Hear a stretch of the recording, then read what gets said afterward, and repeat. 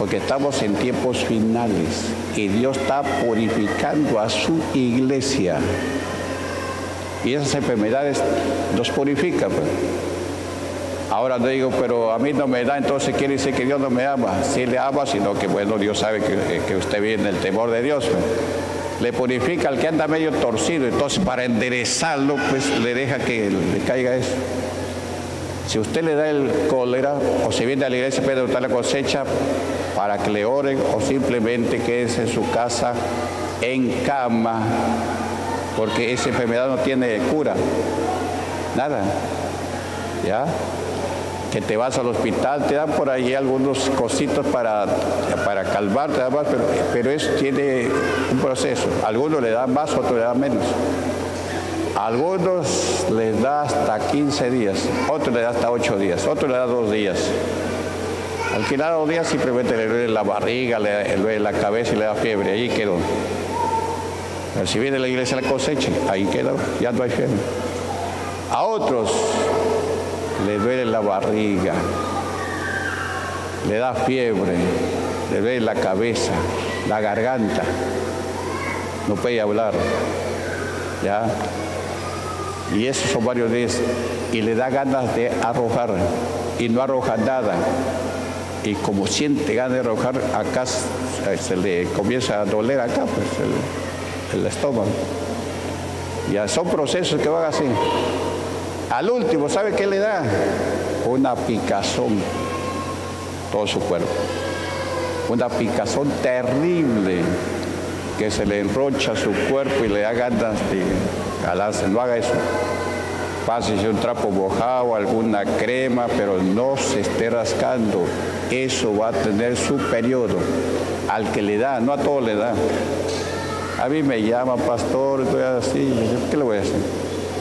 le hago una oración, sí. Pero no puedo yo hacer otra cosa. No puedo decirle vaya al médico, porque el si el médico no tiene esa medicina para eso. Eso no hay medicina. ¿Ya? La ciencia ha aumentado, tiene tantas cosas y no hay medicina para esa enfermedad. Y esa enfermedad viene de arriba. ¿Quién vive? ¿Ya? ¿Por qué? ¿Y por qué a nosotros nos da? Porque a nosotros también nos da. Porque nos está purificando nos está emblanqueciendo porque la venida de Jesús está cerquita, cerquita.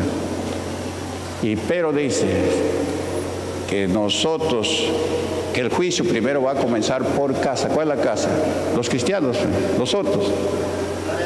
Va a comenzar por casa. Y si el juicio comienza por casa, ¿a dónde aparecerá el impío y el pecador? En el infierno. Y nosotros nos viene eso para purificarnos, porque no estamos yendo al infierno, sino estamos yendo a la vida eterna. Y nos está emblanqueciendo. ¿Quién vive? Pues usted no haga cosas que no convienen.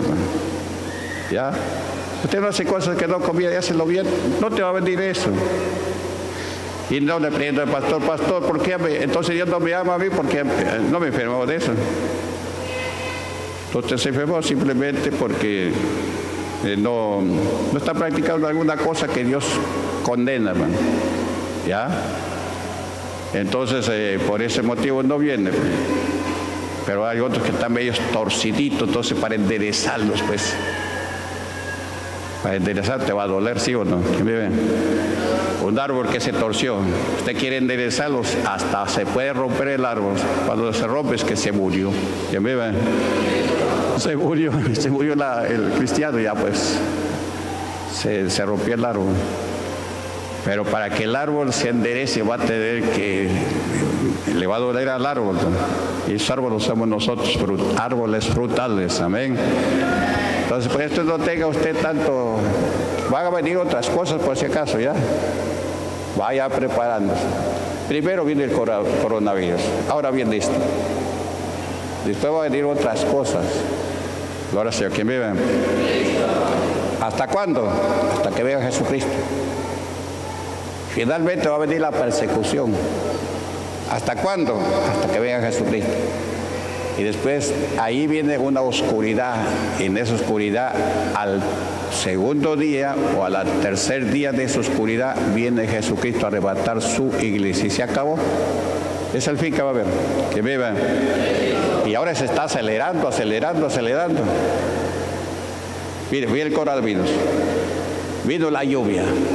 Y ahora el dengue. Después va a venir otra cosa. Y a su nombre. Así que hay que prepararse para irnos con el Señor. Ya que estemos vivos, estemos muertos, vamos con el Señor. Nosotros no somos de abajo, somos de arriba. Pero hay que soportarlo, pues estar contentos y utilizar la espada de Jehová. Que viva. Ya, vamos a poner, vamos a, vamos a orar por los enfermos. Cierra tus ojos.